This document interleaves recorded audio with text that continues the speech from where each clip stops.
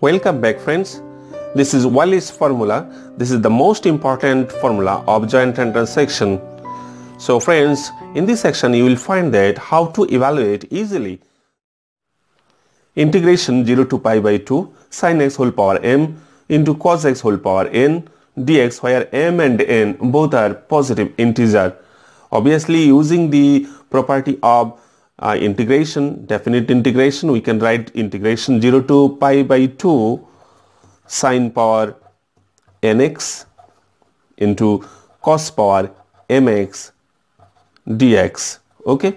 So friends, here Wallis states that this result will be m minus 1 into m minus 3 into dot dot dot 1 or 2 finally into n minus 1 into n minus 3 into dot dot dot finally 1 or 2 whole upon m plus n into m plus n minus 2 into dot dot dot finally 1 or 2 and it should be multiplied by pi upon 2. So friends these result will hold only when both m and n are even integers. m and n both are even integers. Okay. So friends, when m and n are both odd integers, then what will happen?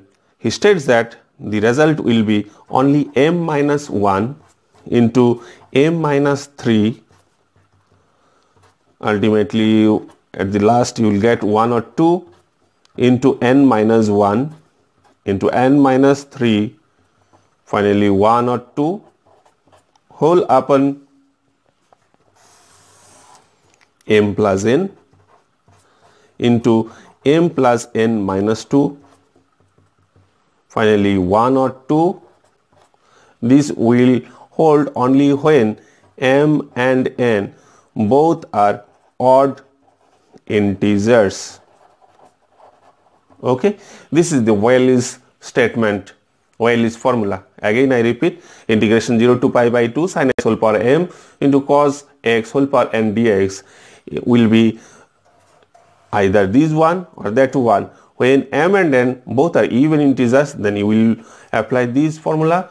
Otherwise you will apply this formula for m and n. Both are odd integers so friends, we will see an example.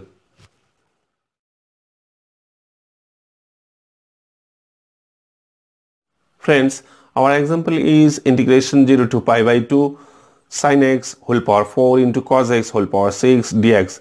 Here m and n both are even integers. m is 4 and n is 6. Both are positive integers and they are even. So for even integers we shall use the first formula this is m minus 1 into m minus 3 up to 1 or 2 in this way um, the resultant will be multiplied by pi upon 2 so m is equal to 4 and n is equal to 6 so obviously we can write it as m minus 1 that means 4 minus 1 that is 3 into m minus 3 that is 4 minus 3 it is 1 finally we shall get one or two either one of them. So we get 1 for this. We shall stop the subtraction and repeated multiplication. Next is for 6 n is equal to 6 so this is n minus 1 n minus 3 up to 1 or 2 so 6 minus 1 that is 5 6 minus 3 that is 3 and 6 minus 5 that is equal to 1 okay 5 into 3 into 1 whole upon m plus n m plus n means 4 plus 6 that is equal to 10 so m plus n minus 2 just we shall subtract 2 again 4 next 6 uh, from m plus n. So this is 10 4 plus 6 is 10 so 10 minus 2 that is 8 Next 8 minus 2 will be 6. 6 minus 2 will be 4. 4 minus 2 is 2. and the resultant will be multiplied by pi upon 2.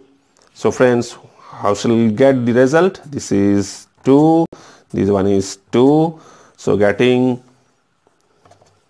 3 upon 2 to the 4, 4 to the 8, 8 4 the 32 into 8 that is 256 into pi upon 2 so getting 3 pi upon 512 so friends integration 0 to pi by 2 sine to the power 4x into cos to the power 6x dx gives us the result 3 pi upon 5 1 to 512 using the Wallis formula.